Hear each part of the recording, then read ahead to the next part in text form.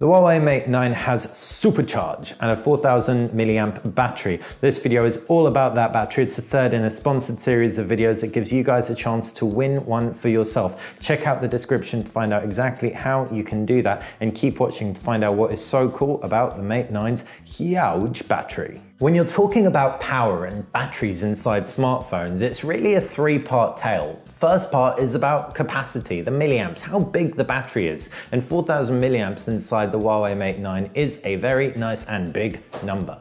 Second, it's all about the charging technology. Huawei's new supercharged tech ships inside both the power adapter and the phone itself. It's quick and it's safe. Finally, it's about software. So if you power up the Mate 9, you can see there are a whole load of battery optimizations under the hood that keep this thing going. The size of the Mate 9's battery is the biggest of any flagship phablet around. That's bigger than the S7 Edge's 3600 milliamp battery. It's also bigger than the iPhone 7 Plus's 2900 milliamp battery, and it's bigger than the OnePlus 3T and Google Pixel XL's battery as well, all 5.5 inch phones. Now what's also very cool about the Mate 9 is it's got the best screen to battery ratio of the bunch as well, suggesting not only does it have a physically bigger battery, even though it also has a bigger screen, it's still gonna last that bit longer. Real world use totally corroborates this. After two months using the Mate 9, I've never had to charge it in the middle of the day, and that's not something I can say for pretty much any other smartphone that I've reviewed. What's also great about it is the fact that you can see I've had it off the charger for two hours and 18 minutes, watched Netflix, Instagram and everything, but it still hasn't eaten into the battery two months. There's 18 hours, 37 minutes left of usage based on my usage patterns for the last two hours, which have been pretty intensive.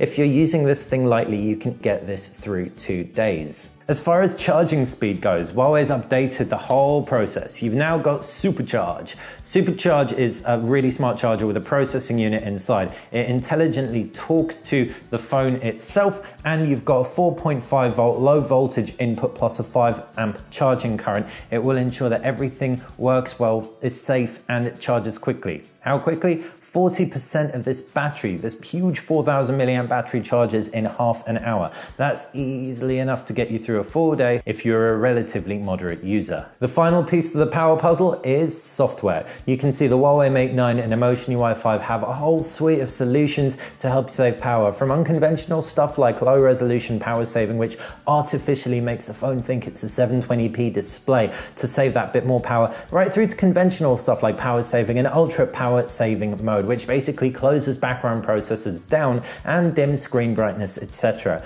You also, if you jump into the settings, can manage prompts that you get when an application is using too much power. These can all be switched on and off at will, so you can dictate how power saving your phone is. So between the Mate 9's 4000 milliamp battery, the supercharged technology under the hood, and the software optimizations that Huawei applies, hopefully now you have a better understanding as to why this thing lasts a full, full day, and I really, really love it. That's why I did this series of videos. If you like them, click that thumbs up button. Make sure you check the description to find out how you can win a Mate 9 for yourself. And if you've got any questions, let us know in the comments section below. Thanks for watching BTECT.